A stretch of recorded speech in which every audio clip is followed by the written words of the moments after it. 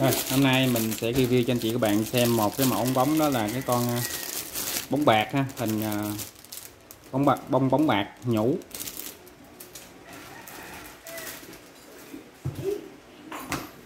Đây là bóng bạc nhũ anh chị bạn nha. Đây mình sẽ phần bạc. Mình sẽ bơm lên rồi mình sẽ chụp ảnh để cho anh chị các bạn nào ở những tình hình xa ha, thì có thể dễ cập nhật, dễ biết anh chị bạn ha. Cũng khá là dài ha. Đây anh chị bạn nhìn kích thước của cái hình ảnh kích thước của cái này nha thì bác nó sẽ bơm lên chụp.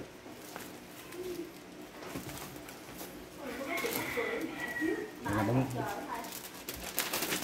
bóng bạc hình nhũ anh chị bạn ha này là bơm bơm bơm nhũ.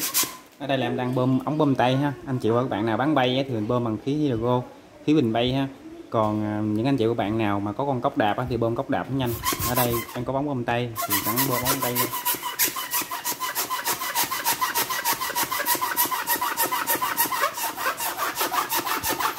ống bơm tay thì mình bơm nó sẽ lâu lâu hơn cốc đạp và lâu hơn cái cái khí ha, cái khí.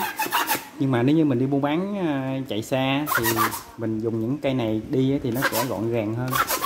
Nó lâu hơn một chút mà nó gọn.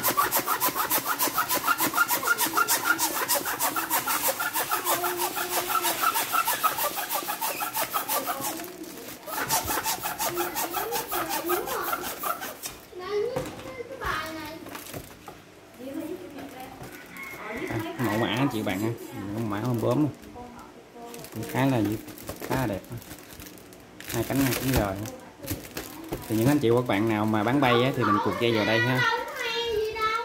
Còn nếu như mà không bán bay á, thì mình sẽ dùng cái cây. Cây đây mình cột dưới đây ha. Cột vào đây.